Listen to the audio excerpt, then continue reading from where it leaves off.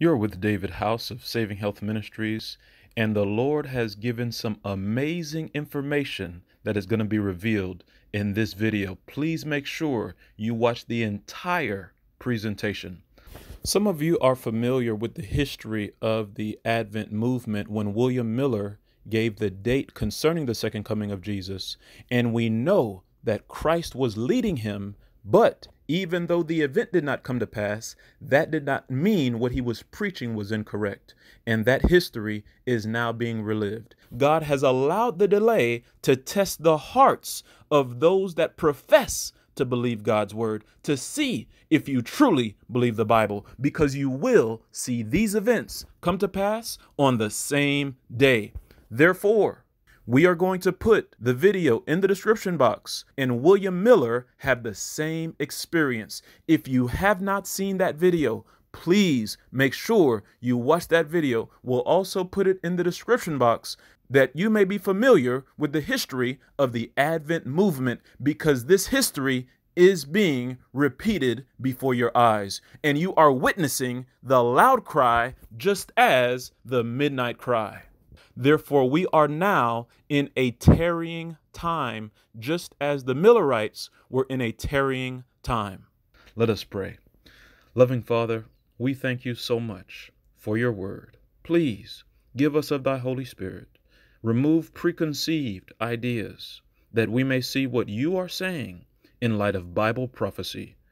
Strengthen our faith is our prayer. In Jesus' name, we ask these blessings. Amen. Notice the headline Biden orders airstrikes against facilities used by Iran backed militia groups. Brothers and sisters, we are on the verge of war, and we see that Biden has issued airstrikes on Iran backed militia groups. We know that soon Iran, Russia, China will attempt an invasion of America and will have some level of success. Though they will not conquer America, there will be Americans that will be taken captive as a result. Notice here another headline confirming it says Biden orders airstrikes in Iraq, Syria against Iran backed militia groups. Brothers and sisters, there will be retaliation in response to these airstrikes. And it shows us that Bible prophecy is true and that God's word cannot lie. Here the headline says Iran vows retaliation in proper time for nuclear scientist killing. Now remember, this is the second Iranian leader that has been assassinated in one year. Here you see in the picture in Iran, they're burning pictures of President Trump and Joe Biden. Here it says Iranian protesters burn images of President Trump and President Joe Biden during a rally Saturday in Tehran. Iranian leaders have blamed Israel and its close ally, the United States, for the assassination of a top Iranian nuclear scientist. So they're blaming Israel and the United States, and they have vowed retaliation. And remember, Iran still wants payback for the killing of Qasem Soleimani. Notice another headline here it says World War III fears surge as Russia threatens to retaliate after U.S. forces violate waters. Russia has demanded the U.S. stop violating its territorial waters and has said it reserves the right to retaliate. So there you see, Russia is also threatening Iran, Russia, and also China. Notice what it says here. Do not fear death. Chinese leader urges troops to prepare for war as tensions soar.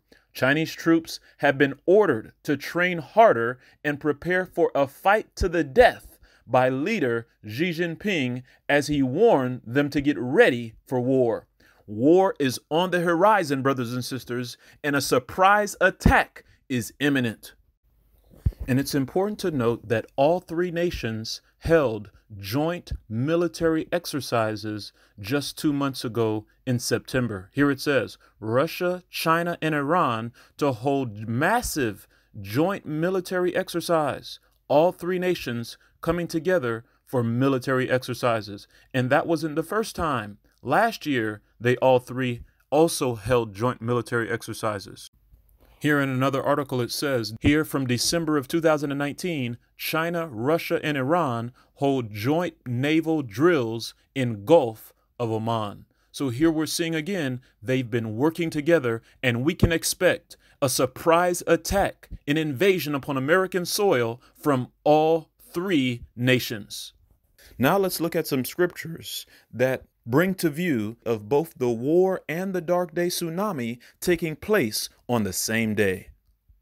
Let us turn in our Bibles to Habakkuk chapter 1 verse 8 and 9.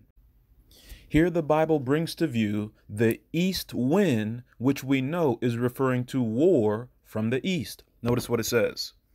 Their horses also are swifter than leopards, and are more fierce than the evening wolves. And their horsemen shall spread themselves, and their horsemen shall come from far. They shall fly as the eagle that hasteth to eat. Whenever you see horses and horsemen and chariots, it brings to view war. Then it says in verse 9, the east wind, they shall come all for violence. Their faces shall sup up as the east wind, and they shall gather the captivity as the sand. So here we're seeing the east wind and individuals being gathered in captivity. We're talking about war coming from Russia and China. Notice what it goes on to say in chapter 2 in reference to this vision of the east wind. It says, and the Lord answered me and said, Write the vision and make it plain upon tables, that he may run that readeth it. For the vision is yet for an appointed time. What is that appointed time? The month of November. Then it says, But at the end it shall speak and not lie, Though it tarry, wait for it, because it will surely come, it will not tarry. So God says that at the appointed time, at the end, it shall speak. So, brothers and sisters, God is showing us that His word will come to pass. Now, so we're talking about the east wind as we examine the book of Habakkuk. Now, turn with me to chapter 3 and verse 15 and 16. Notice what the Bible says here in Habakkuk chapter 3, verse 15 and 16. It says, Thou didst walk through the sea with thine horses, through the heap of great waters. So their horses came through the waters, or in other words, their tanks, their military equipment, their ships came through the waters. Then it says in verse 16, When I heard my belly trembled, my lips quivered at the voice. Rottenness entered into my bones, and I trembled in myself, that I might rest in the day of trouble. When he cometh up unto the people, he will invade them with his troops. Notice here is an invasion concerning the ships traveling through the waters. War is what God is speaking about when we talk about the vision of Habakkuk. Understand, brothers and sisters, that God also is showing us that these two events of both the war and invasion upon American soil and the dark day and the tsunami can take place on the same day. Notice what God says in the book of Amos, chapter 3, verse 14 and 15. Amos 3, verse 14 and 15, it says, That in the day that I shall visit the transgressions of Israel. Upon him I will also visit the altars of Bethel, and the horns of the altar shall be cut off and fall to the ground. Some of you have seen our video concerning the close of probation upon the SDA church. This is when God will visit the transgressions of Israel, and we know that to be the dark day. Then it goes on to say in verse 15, And I will smite the winter house with the summer house and the houses of ivory shall perish. Talking about the White House, talking about war. And the great houses shall have an end, saith the Lord. So, at a time where God is visiting the iniquity of his people, he also mentions the great houses, the White House, having an end. That's war and the dark day. Let us come to another scripture. Turn with me to Isaiah 5 we're going to see four scriptures that bring to view of these events happening on the same day. Isaiah 5 and verse 26, Notice what it says. The Bible says, And he will lift up an ensign to the nations from far, and I will hiss unto them from the end of the earth. And behold, they shall come with speed swiftly. We know that God's ensign is the Sabbath. Ezekiel 20 and verse 12 and Ezekiel 20 and verse 20 make it clear that the seventh day, Friday sundown, until Saturday sundown, is God's true day of worship, not Sunday. Notice what it goes on to say. And many will come with speed swiftly and embrace the third angel's message. Notice what it goes on to say now when this will happen. Verse 27 None shall be weary, nor stumble among them. None shall slumber nor sleep, neither shall the girdle of their loins be loosed, nor the latchet of their shoes be broken, whose arrows are sharp, and all their bows bent. Their horses' hoofs shall be counted like flint, and their wheels like a whirlwind. We know that a whirlwind represents war.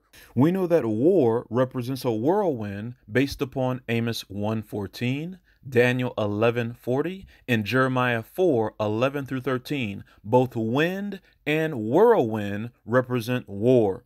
And a whirlwind, in our language, usually we use this term tornado. So if a person sees a tornado in their dream, God is talking about war. Let us come back to the text. Verse 29 says, Their roaring shall be like a lion, they shall roar like the young lions. We know that roaring is prophesying according to Jeremiah 25 and verse 30 and Amos 3 and verse 8. It goes on to say, Yea, they shall roar and lay hold of the prey and shall carry it away safe, and none shall deliver it. So this is talking about individuals being taken captive as a result of war. Then it says in verse 30, And in that day they shall roar against them like the roaring of the sea. This is talking about the tsunami that will strike the Tampa Bay St. Petersburg area. Then it says, And if one Look unto the land, behold darkness and sorrow. That's the dark day. And the light is darkened in the heavens thereof. We will see a dark day. And notice that in verse 30 it says, and in that day, meaning at the day of war. In other words, we will see war and the dark day at the same time. But that's the second witness. Let's go to a third witness. Will these events happen at the same time? Job chapter 1 verse 13 to 16. Job 1 13 to 16. They are feasting in verse 13, the children of Job. Then in verse 15 mentions the communist invasion. It says, and the Sabeans fell upon them and took them away. Yea, they have slain the servants with the edge of the sword, and I only am escaped alone to tell thee. So the Sabeans, we know that's referring to Egypt, and Egypt represents communism. How do we know the Sabeans represent communism? We write down First Chronicles 11 and verse 23, and also Isaiah 45 and verse 15. Egypt represents communism in ignoring of God's word and a persecuting of God's people is what Egypt did literally, and we see those same characteristics in communist nations such as Russia and China. Notice what it goes on to say in verse 15 And the Sabeans fell upon them and took them away. Yea, they have slain the servants with the edge of the sword, and I only am escaped alone to tell thee both death and captivity. Then it says in verse 16 While he was yet speaking, there came also another and said, The fire of God is fallen from heaven and hath burnt up the sheep the sheep, that's the church, and the servants, and consumed them. I only am escaped alone to tell thee. The servants are those that are the preachers, the pastors, the leaders in the church. Both we know judgment comes upon the church at the dark day and the invasion, of the tsunami, and these events in Job 1 happen nearly the same day. Let us look at another text, Nahum chapter 2. Nahum 2, beginning in verse 2, We'll read down to verse 8. Notice what it says. For the Lord hath turned away the excellency of Jacob as the excellency of Israel. So God has turned away the excellency. In other words, he has turned from his people. Why? They have apostatized and their probation has ended. Notice what it goes on to say in the context of that event. It says, and we know that the dark day brings to view the close of probation upon God's people. It says, For the emptiers have emptied them out and marred their vine branches. The shield of his mighty men is made red. The valiant men are in scarlet. The chariots shall be with flaming torches in the day of his preparation, and the fir trees shall be terribly shaken. God is bringing to view both war and the issue of the leadership dying. He says that they shall be terribly shaken. In other words, this is the shaking. It goes on to say in verse 4 The chariots shall rage in the streets, they shall jostle one against another in the broad ways. They shall seem like torches, they shall run like lightnings. In other words, it's talking about the cars or the tanks or the planes that are coming. They are looking like lightnings as they zip across the sky. It goes on to say, He shall recount his worthies, they shall stumble in their walk they shall make haste to the wall thereof, and the defense shall be prepared. When God says he will recount his worthies, he's talking about, look, he's going to have to do over his numbers of the 144,000 because some have fallen into apostasy and another man is going to take their crown. The Gentiles are going to come in and take the crown that many that professed present truth have fallen away and God is going to replace them with others. Notice what he goes on to say in verse 6 The gates of the rivers shall be opened, the dam will be opened, and the palace shall be dissolved. Talking about the White House destroyed in America. And Huzzab shall be led away captive, talking about individuals taken captive as a result of war. She shall be brought up, and her maids shall lead her as with the voice of doves, tabering upon their breast. But Nineveh is of old like a pool of water. Nineveh, like a pool of water? Well, didn't Jonah cry aloud against Nineveh to repent? saying destruction is coming if they didn't repent, and yet the city repented and God did not destroy the city? Likewise, God would give a warning concerning a city in these last days, as the prophet Jonah did, and the city, if they don't repent, will be destroyed. Or, in other words, if the ministers, if the ministry that is in St. Petersburg doesn't repent, the city will be destroyed. This is what we will see in the Tampa Bay, St. Petersburg area. And the Lord gave me two more witnesses when we look at Ezekiel chapter 32. So that was four. I'm going to give you six witnesses for this concerning the fact that the dark day and the tsunami can take place and the war on the same day. Notice what it says, and that sounds almost hard to believe, but God's word is true, and let every man be a liar. Notice what it says Ezekiel 32 and verse 2. Talking about Egypt again, talking about the war, talking about the invasion from China and Russia, it says in Ezekiel 32, beginning in verse 2 Son of man, take up a lamentation for Pharaoh, king of Egypt, and say unto him, Thou art like a young lion of the nations, and thou art as a whale in the seas in my margin it says dragon. So a whale is a dragon in the seas. And we know that the dragon represents Egypt in Ezekiel 29, verse 1 through 3.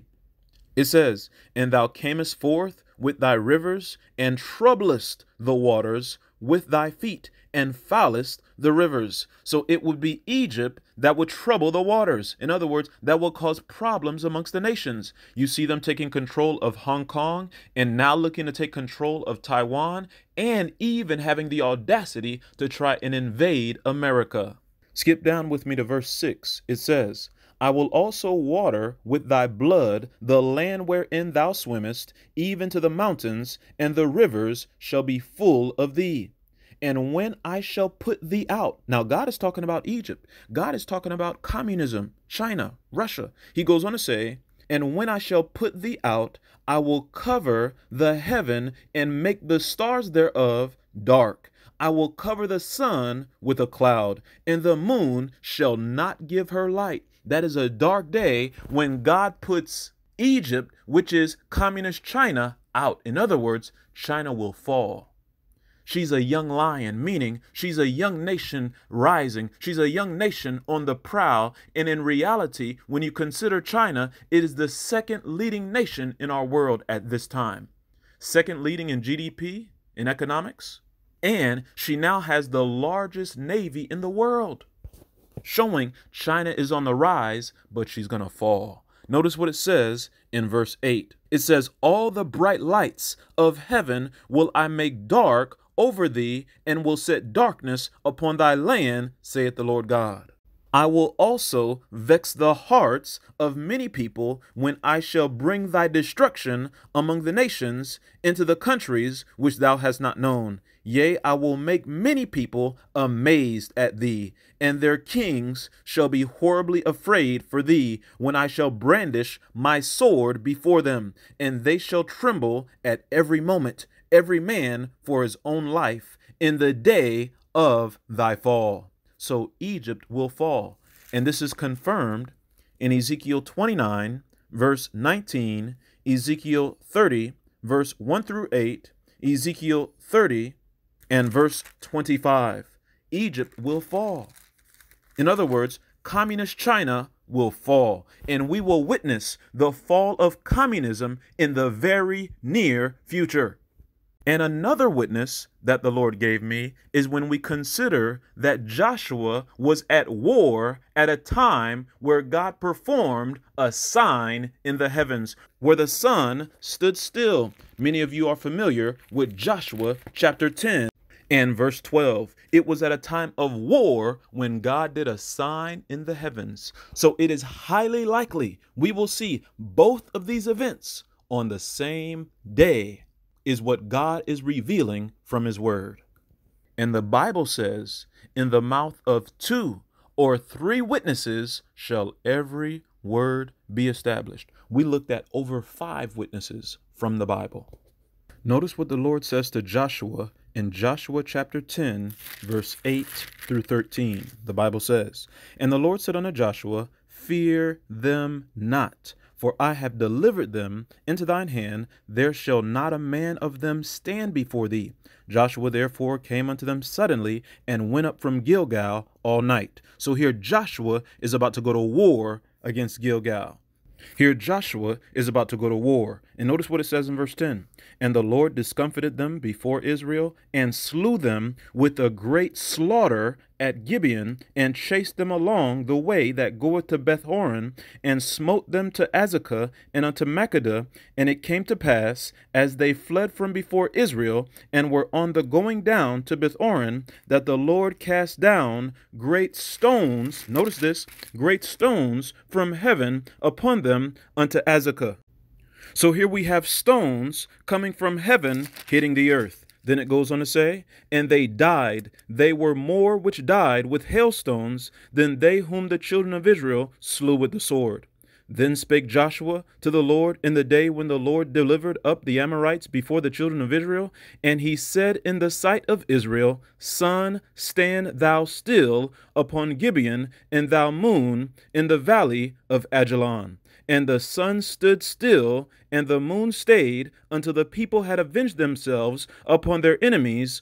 Is not this written in the book of Jasher? So the sun stood still in the midst of heaven, and hasted not to go down about a whole day. So take note that the sun stood still, that's a sign in the heaven. The stones fell from heaven and hit the earth and destroyed the enemies of the Lord. Also, we have war and we have a great slaughter. So we have a slaughter, we have stones from heaven, we have war, and we have a sign in the heavens. All four of these events happening on the same day. And history must repeat itself. Therefore, we can expect in these last days for there to be a stone that hits the earth natural disaster, an asteroid or a meteor or some object hitting the earth causing a tsunami, and that's the natural disaster, the stone hitting the earth, and a dark day at a time of war, and there will be a great slaughter. And this history must be repeated. Remember, Ecclesiastes 1 9 and Ecclesiastes 3:15 teach us that history repeats itself. Therefore, we can expect this event in the very near future. Another confirmation that the Lord is revealing that a stone will hit the earth at a time of war is Daniel chapter 2 and verse 35. Notice what the Bible says. In Daniel 2 and 35, we see that a stone hits the earth at a time of war. Notice what it says, Daniel 2:35. Then was the iron, the clay, the brass, the silver, and the gold broken to pieces together and became like the chaff of the summer threshing floors, and the wind carried them away. Take note, the wind, we know that wind represents war based on Jeremiah 4 11 to 13 and Jeremiah 51, verse 1 to 3. Wind represents war. It says, And the wind carried them away, that no place was found for them, and the stone that smote the image became a great mountain and filled the whole earth. God is showing us the last and final work that he does upon the earth at a time where there is war, at a time when an asteroid hits the earth, at a time where that asteroid causes a tsunami or whatever object from space hits the ocean and causes a massive tsunami causing death upon mankind at the same time of a dark day. All these events on the same day. Bible prophecy will be fulfilled, and this is the final movement of Bible prophecy showing us that Christ is soon to come and we must surrender to Jesus now before it is forever too late. So now that we have seen that on the dark day, Egypt will fall I want you to see a second witness concerning this in Genesis chapter 15 and verse 1. Notice what it says. After these things, the word of the Lord came unto Abram in a vision, saying, Fear not, Abram, I am thy shield and thy exceeding great reward. So the Lord gave Abraham a vision. Let's skip down to verse 12. It says, And when the sun was going down, a deep sleep fell upon Abram, and lo, a horror of great darkness fell upon him. So here we have darkness, a dark day. Verse 13. And he said unto Abram, Know of a surety that thy seed shall be a stranger in a land that is not theirs, and shall serve them, and they shall afflict them four hundred years.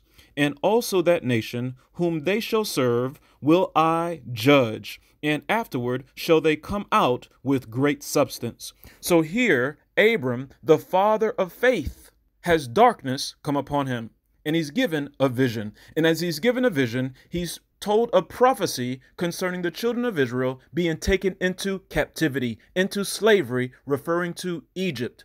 And God says, That nation will I judge. So God is going to bring judgment upon Egypt, meaning judgment upon communist China. We can expect for China to fall. Notice what it goes on to say. Verse 15 And thou shalt go to thy fathers in peace thou shalt be buried in a good old age. But in the fourth generation they shall come hither again, for the iniquity of the Amorites is not yet full. So it brings to view now the fourth generation. And we know that the fourth generation has ended now for Seventh day Adventists in 2020. Some of you have seen our video concerning this. We'll put the link to that video in the description box. Now, Coming over to verse 17, it says, And it came to pass that when the sun went down, it was dark, behold, a smoking furnace, and a burning lamp that passed between those pieces. So take note that there was a burning lamp at a time of a dark day. Let me repeat. There was a burning lamp at the time of a dark day. That means an asteroid. That means a space rock. That means a meteor is going to strike the ocean, and this connects to the wormwood prophecy. Notice what it says concerning a burning lamp in Revelation chapter 8, beginning in verse 10. Notice what it says. And the third angel sounded, and there fell a great star from heaven, burning as it were a lamp. There it is, a burning lamp. And it fell upon the third part of the rivers, and upon the fountains of waters. And the name of the star is called Wormwood. And the third part of the waters became wormwood, and many men died of the waters because they were made bitter. And the fourth angel sounded, and the third part of the sun was smitten, and a third part of the moon, and a third part of the stars, so as the third part of them was darkened, and the day shone not for a third part of it, and the night likewise. So God is bringing to view the connection between the dark day and wormwood. So on one day, we can expect for an invasion by Russia and China. And on the same day, we can expect a dark day and a tsunami upon the Tampa Bay St. Petersburg area. These events happening on the same day. And then you know, based on this word, that communism, communist China, will fall. Am I saying it's going to happen on the same day? It doesn't have to, but it's a possibility that communism as well will fall the same day. Why? Because America will retaliate as a result of the invasion. And we could even see a nuclear bomb go off in the East. God has shown that this is one chain of truth. And notice that it mentioned the burning lamp. And this connects to the parable of the virgins. Notice what it says Matthew 25. Verse 1 through 13 is where we find the parable of the five wise and the five foolish virgins. And we know this parable is referring to Seventh day Adventists. Some are trimming their lamps, they're searching the scriptures, and they're advancing with the light that God is sending, showing forth that the Holy Spirit is at work in their character because God only gives light to the righteous, while the foolish are not trimming their lamps. They're holding to beliefs that have already come to pass before 1915 and they have not advanced with the new light of God. And God is making it clear who the wise and who the foolish virgins are before the mark of the beast. Notice that this prophecy God has given to the church that we may understand that we must advance with the light of God as time progresses. Otherwise, we are not walking by faith. So we can expect both of these events, the invasion and the dark day tsunami, to take place on the same day. Also, understand that Josiah Litch knew the exact day of the fulfillment of the fall of the Ottoman Empire. History must repeat itself. One other point to make is that when the pioneers were eating the book of Daniel, it was sweet in their mouth, but it was bitter in their belly. Therefore, this prophecy is sweet as we understand it, but it will be a bitter experience because there will be much death across America, both through the war and through the tsunami. And both events will take place on the same day. God has given us prophecy to strengthen our faith. How we receive the prophecies before the mark of the beast determine whether or not we are truly ready, whether or not we are really walking by faith. And God needs children that have faith in order to make it through the mark of the beast. This prophecy shows us that we can believe the word of God, that God's word is true, and that we can walk by faith as we walk by the word. Romans 10 and verse 17 Faith cometh by hearing, and hearing by the word of God. And it is by faith that we are saved, because the Bible says, the just shall live by faith, which means they live by every word of God. Notice what it says in John chapter 13 and verse 19. It says, Now I tell you before it come, that when it is come to pass, ye may believe that I am he. God is strengthening our faith by giving us the prophecies before the mark of the beast, that the work of the fourth angel may lighten the earth with the glory of God. Let us surrender to God's word that we may experience both the former and the latter rain.